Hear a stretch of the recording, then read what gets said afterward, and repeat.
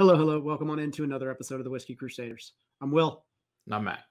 On today's liqueur series, we're exploring Arrow and their black raspberry liqueur. Don't you forget to hit that like and subscribe button. Click that notification bell.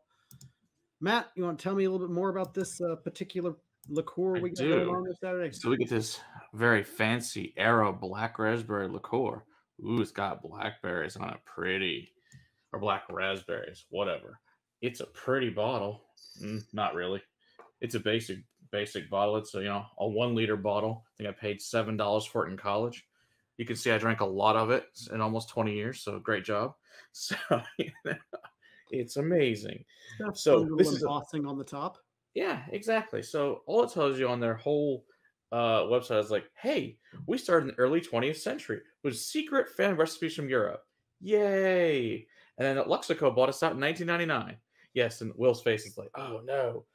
But it's 15%, so woohoo. They also make schnapps, brandies, liqueurs, cordials, and creams. So I know that we have several of these, and Will's going to be so excited to try these. So let's see what we think.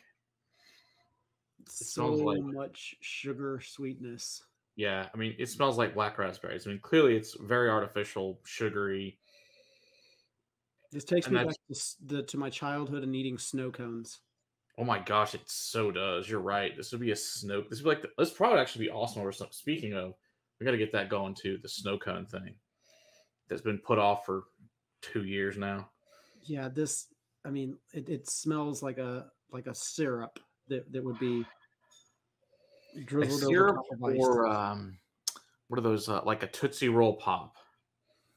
One Yeah. of those uh, sweet, you know, with the chocolate in the middle. hmm Yeah, there is almost a cocoa vibe going on in there. Yeah, Man, not so a whole much lot more on that. I mean, It's definitely milk chocolate. It's like sweet, sweet, sweet. agree. Man, I'm sure there's some beautiful coloring and sugar at it. Let's see. oh, so much sugar. Mm-hmm. Oh, it hurts my teeth. That's so much sugar. It's so thick and oily. It's like syrup. It really is. It's super thick. Whoa. I could put some pancakes and it'd be delicious. This is it's it tastes exactly like black raspberry should. Well, the same thing, that little bit of that chocolate in there with the black raspberry. This is like reminds me of what's that syrup company? Oh, like Log Cabin or something like that.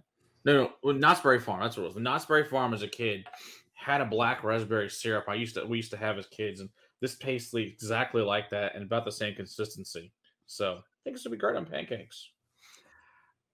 definitely as an additive. Uh, maybe if you need to add a little bit to to fruity up a drink, maybe.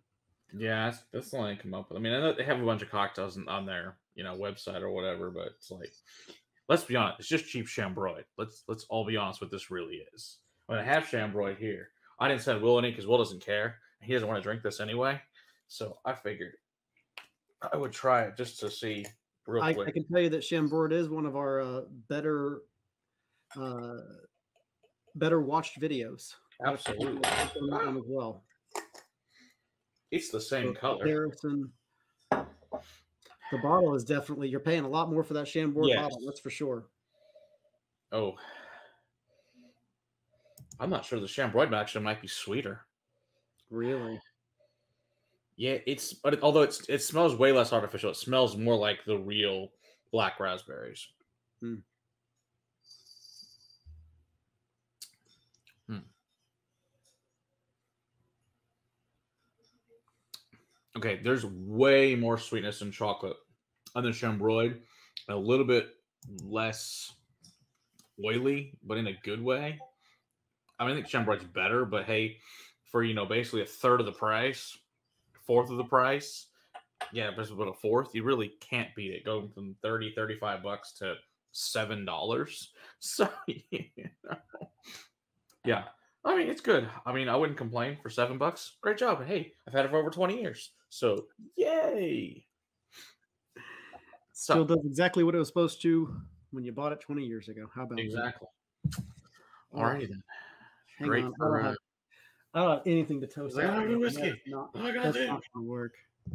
Yeah, we uh You know, it's good. I meant I bought it for cocktails. Mr. Boston book said that I needed one of these, so I bought one. I wish I could find some more Mr. Boston products. I only have a think of peppermint schnapps left from Mr. Boston of the actual balls of Mr. Boston, but we'll review that someday for you guys. But for now, we have this one from Arrow, and he found whiskey, and he's much happier. All righty. Don't you forget to hit that like and subscribe button. Click that notification bell. We're also live every Monday night. Come hang out with us there, join the conversation, become part of the community. Until next time, keep on crocheting for better liquids in your glass. Cheers. Cheers. Mm. Ooh,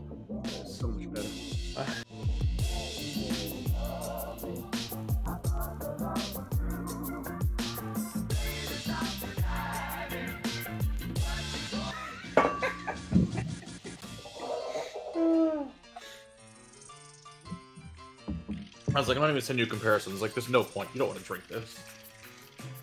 I saved you. It's all good. I appreciate you. Oh, I figured you did.